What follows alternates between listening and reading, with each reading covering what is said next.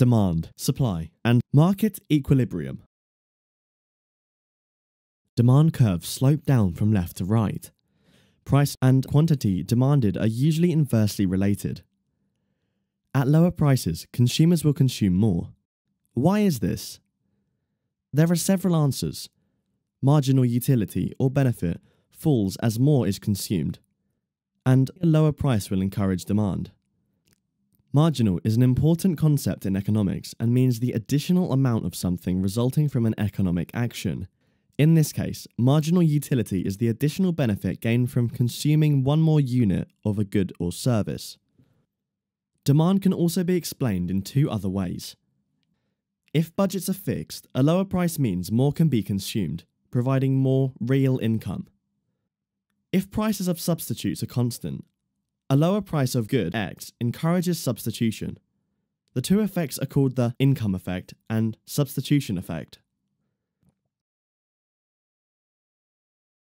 A demand curve can shift to the right, an increase, or to the left, a decrease. With an increase, more goods are demanded at all prices.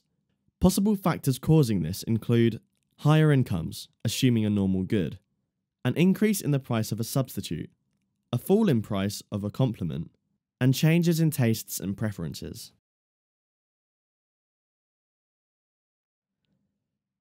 A shift to the left is a decrease. Fewer goods are demanded at all prices.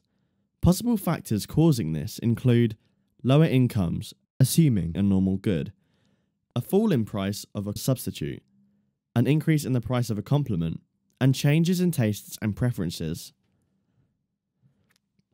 Supply. Supply curves typically slope up from left to right. Price and the quantity supplied are positively related.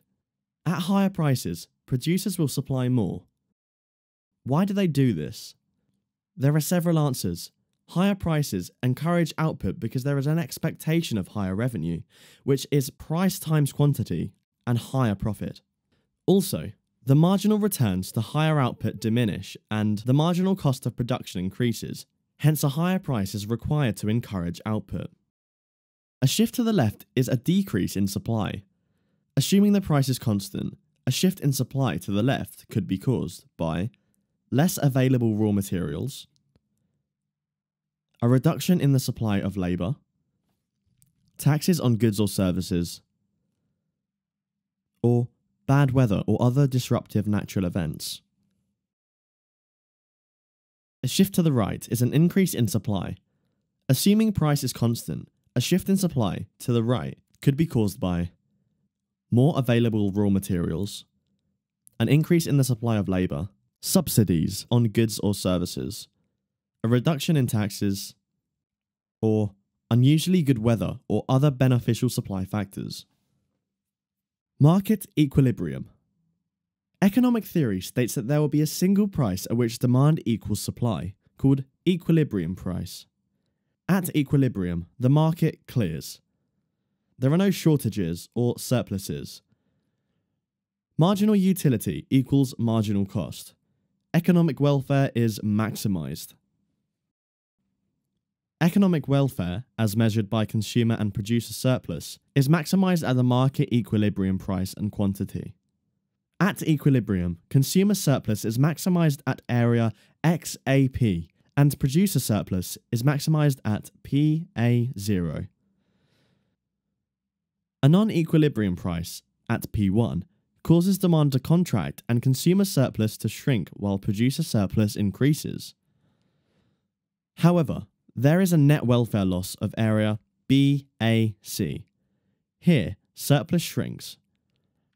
At a lower price, at P2, supply contracts, so the output is at Q1.